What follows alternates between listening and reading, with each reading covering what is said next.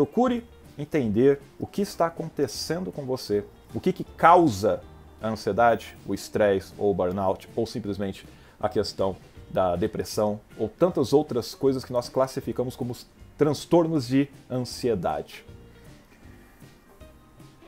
O que, que acontece com O que, que dispara o sentimento de medo? O que, que dispara a sensação de angústia? O que, que faz você ficar imaginando uma série de coisas que você sabe que não tem lógica, mas que acontece? Entenda o que é. É algo que você viu? É algo que você ouviu? Alguém falou para você? Ou que você disse para si?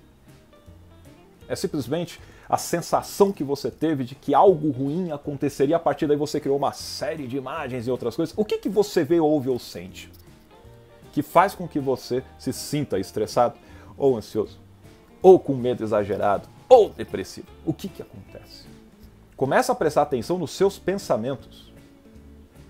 Os seus pensamentos vão guiar os seus sentimentos. Seus sentimentos não nascem do nada, eles vêm dos pensamentos que você tem. E isso afeta as suas ações, isso afeta o seu comportamento. Um mau pensamento gera um mau sentimento que faz você ter um mau comportamento.